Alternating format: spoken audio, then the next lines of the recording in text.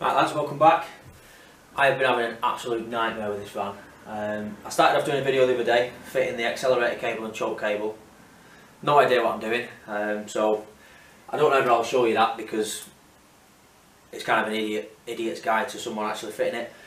And then I went to fit the radiator, that went Pete Tong because now I'm changing back from a plastic fan to a metal fan on the earlier Minis, they used to have a bigger spacer or a bigger pulley, whatever it was.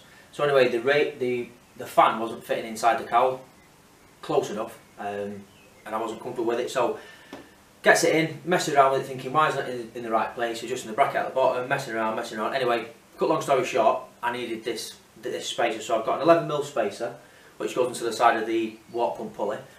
So hopefully this will work now. Um, so what I'm going to do, I'm going to get this spacer on, get the fan in. The bottom half of the radiator is already in situ, uh, and then I've spoke with a couple of lads on WhatsApp as well. And oh, that was another thing I did as well is I, I tried putting the radiator in in full, and obviously just doing the bracket up at the bottom where it mounts to the engine, engine kind of mount on the on the radiator side. And then there's no way on earth you're getting that two-piece cowl past the metal fan in one piece, unless you get a sledgehammer out. It's just just not going to happen. So yeah, so I had to take it back out and I took it to pieces and honestly I must have spent two hours messing around with it to then find out that that is why it won't fit. So I'm hoping today this will uh, this will all fit nicely. So right, let's get this fan on. Let's get the water pump pulley spacer on. Uh, get the cowl in, get the radiator in, bottom hose in and hopefully finish this engine bay today because uh, it's dragging out a little bit now and as soon as I've done this I can start putting the interior and finish off the wiring and then we're getting we're getting some of them. We're making progress. So stick with me, guys, and I'll uh, I'll catch up with you once this is in. If it works this time. If it doesn't work, then you probably won't see this video anyway. So catch you in a minute.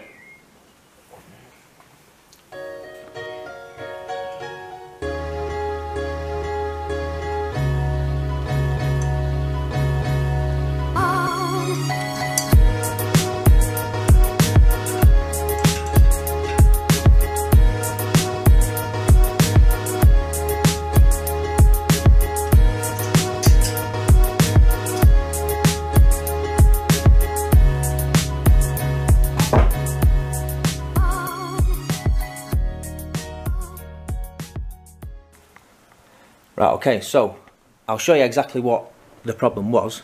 So if you can see the end of this radiator cowl there, now the fan is inside of it. Without that 11mm spacer, that fan essentially was 11mm further out here. So yeah, I'm happy with that now. Um, belt's already in.